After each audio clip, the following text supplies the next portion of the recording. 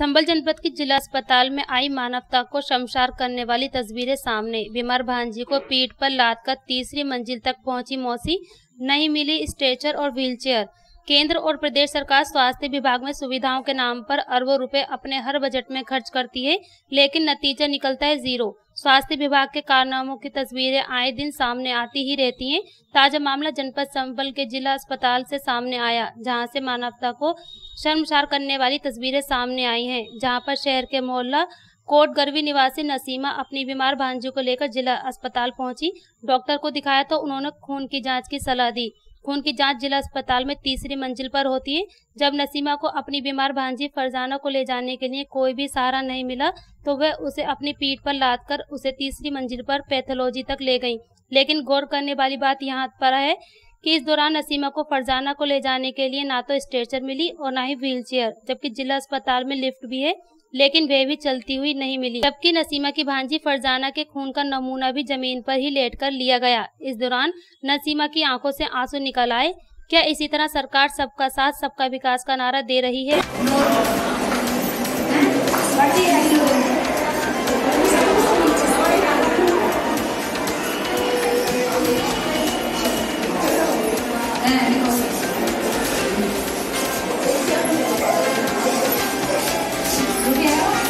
न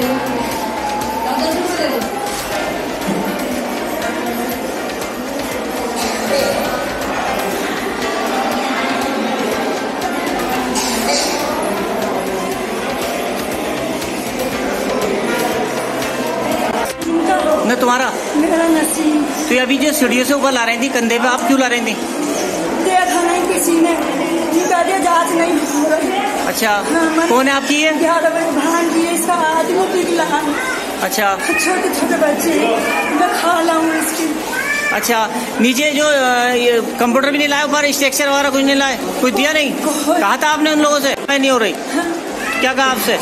ये कह दिया यहाँ जाँच वाच नहीं हो। ये ग्यारह बजे से बाद में कोई जाँच नहीं है। अब आप इतनी सीढ़ियों से ऊपर कंधे पे लाई हैं कोई डॉक्टर नहीं सुन रहा कुछ नहीं सूख गए थे, सर इसकी हालत देख अब क्या चाहती हो आप? इसकी जाँच हो सके ठीक हो जाए बस। अब ना करते जाँच न करते बच्चे- हमको दस- छब्बीस रुपए एक गोली रही है छब्बीस रुपए की। मैडम से कहिएगा ये बाहर की दवा देखिए तीन दिन की पकड़ो किसकी है ये? दिखाओ मुझे। दिखाओ सारे। क्या नाम है तुम्हारा? शादिया कर शादी ये मेडिकल दवा किसने लिख के दी? इन्होंने सामने वाले डॉक्टर ने। कितने की आई है? एक सौ एक सौ पैंसठ की। अस्पताल से दवा नहीं दी?